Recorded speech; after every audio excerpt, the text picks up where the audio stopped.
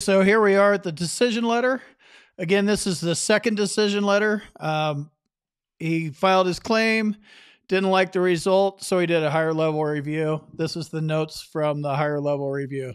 So, introduction, I'm sure you guys have seen that, tells you where you were and all that kind of stuff. We reserved your uh, request for a higher level review and we made the following decisions. So, the decision um, was overturned. Evaluation of PTSD with alcohol use disorder, which is currently 70% disabling, is increased to 100%. So he was able to flip this over in a higher level review based on the evidence that he had on file. Um, he has good uh, under evidence. This is where you go look at the evidence. When I'm talking about using good evidence and better evidence, this is good evidence here. This is a good guideline. So, um, treatment records at the VA from 2001 through 2020. So, 19 years of constant treatment is good. Um, there's a VA dis- uh, DBQ from the C&P examiner. There's a uh, private letter. There's a DBQ um, from a doctor that was not considered. Um, also, um, these doctors that are out of state that do these diagnoses, um, you should really try to find a doctor near you that doesn't do thousands of these things um, a year. They they are on some uh, list somewhere, I'm sure, and the VA's onto it, and they quit accepting public use DBQs. Still submit them, but I would go to an in-person uh, exam. Goes through the uh, statement in support of claim, got a buddy letter, personal statement, uh, PTSD stressor form, the actual application, um, service treatment records from when he was in, uh, DD 214, that's where it says you're a combat veteran, and then the uh, higher level review um, paperwork.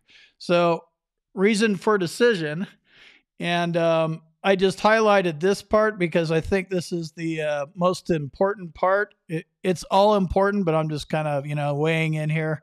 So um, the reports note continuous treatment with weekly to biweekly for suicide check and risk assessment so this is where um, the intent uh, or plan comes in, and uh, things get escalated with the VA, and they put you on. Uh, I believe it's a 30 day program, and like if you don't answer your phone in four hours, they're coming out for you, and they want to check on you. so it's it's a lot more than just you know suicidal thoughts and ideation. Uh, I think this definitely helped him and uh, he has all this stuff in his VA record, so it's easy for them to find when they um, did the uh, uh, higher level review. It says right here, we're unable to accept the DBQ prepared by so and so from out of state. Please note that a telehealth or telehealth uh, examination report is only acceptable and actionable for rating purposes when prepared by a VHA or VBA contracted examiner. So that's your Veterans Health Administration treating doctor or VBA contracted examiner, C&P examiner. So um, they went ahead and they still um, disregarded the the private DBQ altogether. Uh, goes on a little bit more and it talks about all the uh, rating criteria in the uh, 100% category versus the 70% category. And they went ahead and thought that he had enough in the 100% um, category to award him 100% PTSD uh, instead of 70% PTSD.